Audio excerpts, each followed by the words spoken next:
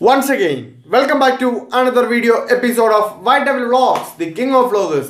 Guys ഇന്ന് നമ്മൾ സംസാരിക്കാനായിട്ട് പോകുന്നത് ആഗോള താപനത്തിനെ കുറിച്ചാണ്. അതായത് ഗ്ലോബൽ വാർമിംഗ് ഇങ്ങനൊരു കണ്ടന്റ് ഞാൻ ഇന്ന് സെലക്ട് ചെയ്യാനായിട്ടൊരു കാരണമുണ്ട്. ഇന്ന് ഞാനിങ്ങനെ എക്സാം ബയോളജിയുടെ എക്സാം എഴുതിക്കൊണ്ടിരുന്ന സമയത്ത് ഇങ്ങനെ ആഗോള താപനത്തിനെ കുറിച്ച് ഇങ്ങനെ ഒരു ക്വസ്റ്റ്യൻ ക്വസ്റ്റ്യൻ പേപ്പറിനകത്ത് ശ്രദ്ധയിൽപ്പെട്ടു. അപ്പം എന്തുകൊണ്ട് അതൊരു വീഡിയോ ആക്കി നിങ്ങൾക്ക് കൂടെ അത് ഷെയർ ചെയ്ത് തന്നുകൂടാ എന്ന് ഞാനൊരു ചിന്ത ഇങ്ങനെ മനസ്സിലേക്ക് കൊണ്ടുവന്നു. അപ്പം അതുകൊണ്ടാണ് ഇന്ന് നമ്മൾ ഇങ്ങനൊരു വീഡിയോ ചെയ്യാനായിട്ട് ഉദ്ദേശിക്കുന്നത്. അപ്പോൾ തന്നെ ആദ്യം തന്നെ ഞാൻ പറഞ്ഞേക്കാം. ആഗോള താപനം എന്ന് പറഞ്ഞാൽ എന്താണ്? അതായത് global global warming what's global warming നാക്ക് കയറി ഉളുക്കുന്നു. ഗായ്സ് ഭയങ്കര ബുദ്ധിമുട്ടാകും നാക്ക് ഭയങ്കരമായിട്ട് കയറി ഉളുക്കും. എന്നൊന്നും ഒരു പിടുത്തമില്ല. അപ്പം നമുക്ക് നമ്മുടെ കണ്ടന്റിലേക്ക് വരാം. ആഗോളതാപനം എന്ന് പറഞ്ഞാൽ നമ്മൾ ഈ വണ്ടികളിൽ നിന്നും അതേപോലെ തന്നെ ഫാക്ടറികളിൽ നിന്നും അതേപോലെ തന്നെ ഈ നമ്മുടെ അടുപ്പുകളിൽ നിന്നൊക്കെ കത്തിക്കുന്ന പുക അതായത് ചൂട് ആ സംഭവം നമ്മുടെ നാടിനെ അതായത് നാടിന്റെ ടെമ്പറേച്ചർ ഹൈ ആക്കുന്നതിനാണ് നമ്മൾ ആഗോള താപനം എന്ന് പറയുന്നത്. ആഗോളതാപനത്തിന് വേറെ പല ഡെഫിനേഷൻസും കാര്യങ്ങളൊക്കെ കാണും. പക്ഷേ എനിക്ക് അറിയാവുന്ന ഒരു കാര്യമാണ് ഞാൻ നിങ്ങളോട് പറഞ്ഞത്. ഉം. അപ്പം വളരെ ഈസി ആയിട്ട് സിമ്പിൾ ആയിട്ടുള്ള രീതിയിലാണ് ഇപ്പം ഞാൻ നിങ്ങളോട് ആഗോളതാപനം എന്ന് പറഞ്ഞാൽ എന്താണെന്ന് പറഞ്ഞത്. അപ്പം ഇനി നമുക്ക് ഇതിനെ എങ്ങനെ പ്രിവെന്റ് ചെയ്യാം എന്നും കൂടെ കുറച്ച് കാര്യങ്ങൾ നമുക്ക് സംസാരിക്കാം ആഗോളതാപനത്തിനെ പ്രിവെന്റ് ചെയ്യാനായിട്ട് ആഗോളതാപനത്തെ പ്രിവെന്റ് ചെയ്യാനായിട്ട് നമ്മൾ ഓരോരുത്തരും ഒന്ന് ജസ്റ്റ് ഒന്ന് ട്രൈ ചെയ്ത് വെച്ചാൽ എല്ലാവരും ഒരു ഒരാൾ ട്രൈ ചെയ്ത് കഴിഞ്ഞാൽ ഒത്തിരി പേര് ട്രൈ അങ്ങനെ ഒത്തിരി പേര് ഒരാൾ ട്രൈ ചെയ്യുന്ന പോലെ തന്നെ ഒത്തിരി പേര് ട്രൈ ചെയ്ത് കഴിഞ്ഞാൽ നമ്മുടെ നാട്ടിലെ ആഗോളതാപനം പൂർണമായിട്ടും ഇല്ലാതെയാകും. കാര്യം എന്താണെന്ന് വെച്ചാൽ നമ്മൾ ഇപ്പം ഇപ്പം ഞാനിപ്പം ആഗോളതാപനം പ്രിവെന്റ് ചെയ്യാനുള്ള കുറച്ച് കാര്യങ്ങളൊക്കെ ചെയ്യുന്നു. ചെയ്ത് കഴിഞ്ഞിട്ട് അപ്പം എന്നെ കണ്ടിട്ട് വേറൊരാൾ ഇമിറ്റേറ്റ് ചെയ്ത് അതേപോലെ തന്നെ ചെയ്തു. അപ്പം രണ്ടുപേരെ അങ്ങനെ അങ്ങനെ അങ്ങനെ പോകുന്നതനുസരിച്ച് ഇതൊരു ചെയിനായിട്ട് ആഗോളതാപനം നമ്മുടെ ഭൂമിയിൽ നിന്ന് തന്നെ ചിലപ്പം ഇല്ലാതാകാൻ വളരെയധികം ചാൻസ് ഉണ്ട്. ഇല്ലാതൊന്നും ആകത്തില്ല. എന്നാലും ഒരു പോസിബിലിറ്റി അപ്പം അത്രേ ഉള്ളൂ. അപ്പം ഇത് ഇനി നമുക്ക് എങ്ങനെ പ്രിവെന്റ് ചെയ്യാമെന്ന് നോക്കുമ്പോഴത്തേന് എനിക്ക് പറയാനായിട്ടുള്ളത്.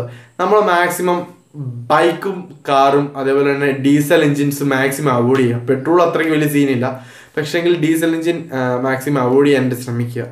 കാരണം എന്ന് വെച്ചാൽ ഡീസൽ കത്തുമ്പോഴത്തേന് നല്ല ശക്തിക്ക് ശക്തമായിട്ടുള്ള പുക പുറന്തള്ളും നിങ്ങൾ ജസ്റ്റ് ഒന്ന് ഡീസൽ വണ്ടിയൊക്കെ ഓടിക്കുന്നവരാണെങ്കിൽ ജസ്റ്റ് ഒന്ന് ശ്രദ്ധിച്ചാൽ മതി. അല്ലെങ്കിൽ ഡീസൽ വണ്ടി ഫ്രണ്ടിൽ പോകുമ്പോൾ നിങ്ങൾ പുറകിൽ നിൽക്കുമ്പോഴത്തേക്കും നിങ്ങളൊന്ന് ജസ്റ്റ് ശ്രദ്ധിച്ചാൽ മതി. ഡീസൽ വണ്ടി ഫസ്റ്റ് ഗിയർ അല്ലെങ്കിൽ സെക്കൻഡ് ഗിയർ പോകുമ്പോൾ നന്നായിട്ട് പുക പുറത്തോക്കി തള്ളുന്ന കാണാൻ സാധിക്കും.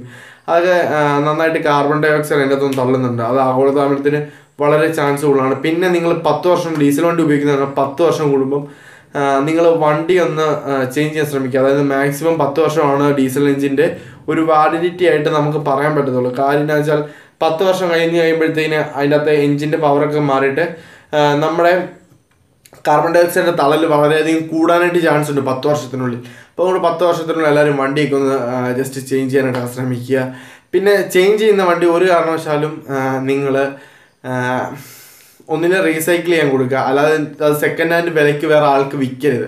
കാരണം വെച്ചാൽ ആ ആ ആൾ ആ വണ്ടി ഉപയോഗിക്കുമ്പോഴത്തേന് ആ ആളും ഇതേ വണ്ടിക്ക് അതൊന്നും ഉണ്ടാകുന്ന പുക വെളിയിലേക്ക് തള്ളാൻ ചാൻസ് അപ്പം മാക്സിമം ആ വണ്ടി റീസൈക്കിൾ ചെയ്യാനായിട്ട് ഒന്നിനെ ഷോറൂമിൽ കൊടുക്കുക. അല്ലെങ്കിൽ അതേപോലെ തന്നെ പൊളിക്കാൻ കൊടുക്കുക. അങ്ങനെയുള്ള കാര്യങ്ങളൊക്കെ ചെയ്തു കഴിഞ്ഞാൽ അത് നമ്മുടെ ആഗോളതാപനത്തിന് വലിയൊരു പ്രിവെൻഷനായിട്ട് മാറും. പിന്നെ ആഗോളതാപനത്തിന് നമുക്ക് കുറയ്ക്കാനായിട്ട് സാധിക്കുന്നത് എങ്ങനെയാണെന്ന് വെച്ചാൽ ഇപ്പം ഒരു സ്ഥലത്തേക്ക് അതായത് ഇപ്പം ഇവിടുന്ന് ഞങ്ങളുടെ സ്കൂളിലേക്ക് അഞ്ച് പേര് പോകുന്നുണ്ട്. അല്ലെങ്കിൽ ഞങ്ങളുടെ നിങ്ങളുടെ കോളേജിലേക്ക് അഞ്ച് പേര് പോകുന്നുണ്ട്. അപ്പം അഞ്ച് പേരും അഞ്ച് വണ്ടിയെ പോകാതെ അതായത് അഞ്ച് പേര് അഞ്ച് വണ്ടിയെ പോകാതെ എല്ലാവരും കൂടെ ഒരൊറ്റ വണ്ടിയെ പോകാൻ ശ്രമിക്കുക. അതായത് ഒരു കാറെ പോകാൻ ശ്രമിക്കുക. അപ്പം അഞ്ച് പേരുടെ വണ്ടി നാല് വണ്ടി അവിടെ ചുരുങ്ങി നാല് വണ്ടിക്ക് അത് പുക അവിടെ കുറയുന്നു. ആ കാറിലാവുമ്പോഴത്തേന് ഒറ്റ വണ്ടിയുടെ പോകാം. അങ്ങനെ നമുക്ക് ആഗോളതാപനത്തിന് കുറയ്ക്കാനായിട്ട് സാധിക്കും. പിന്നെ ഇൻഡസ്ട്രിയലിൽ നിന്ന് അതായത് ഇഷ്ടംപോലെ ഇൻഡസ്ട്രിയൽ ബ്രാഞ്ചസ് നമ്മുടെ നാട്ടിൽ ഓരോ ദിവസവും ദിവസവും കൂടുന്തോറും ഉണ്ടായിക്കൊണ്ടിരിക്കുന്നു. അതൊക്കെ ഒന്ന് മാക്സിമം മെയിന്റെയിൻ ചെയ്യാൻ ശ്രമിക്കുക. അതായത് ഒരു ലൊക്കാലിറ്റിയിൽ അല്ലെങ്കിൽ ഒരു ഡിസ്ട്രിക്റ്റിലോ ഒരു ഇൻഡസ്ട്രി മാത്രമാക്കുക. പുകയൊക്കെ പുറത്തേക്ക് തള്ളുന്നത് അങ്ങനെയൊക്കെ നമ്മുടെ ഗവൺമെന്റും കൂടെ കുറച്ച് ശ്രദ്ധിച്ചു കഴിഞ്ഞാൽ നമ്മുടെ ആഗോളതാപനം നമുക്ക് പോസിബിലിറ്റി ആയിട്ടുള്ള കാര്യമാണ്. നമുക്ക് അത്യാവശ്യം നന്നായിട്ട് കുറയ്ക്കാനായിട്ട് തന്നെ സാധിക്കും. പിന്നെ എനിക്ക് ആഗോളതാപനം കൊണ്ടുള്ള കുറച്ച് ദൂഷ്യങ്ങളും കൂടെ പറയണമെന്ന് ആഗ്രഹമുണ്ട്. അത് ഞാൻ ഇപ്പോൾ പറയാം. ആഗോളതാപനം കൊണ്ടുള്ള ദൂഷ്യം എന്ന് പറഞ്ഞു കഴിഞ്ഞാൽ നമ്മുടെ നാട്ടിലെ പുഴകളും അതേപോലെ തന്നെ എയറും വായുവും കാര്യങ്ങളെല്ലാം ഡാമേജ് അല്ലെങ്കിൽ ഡേർട്ടി ആകാനായിട്ട് ചാൻസ് വളരെ വളരെ വളരെ കൂടുതലാണ്.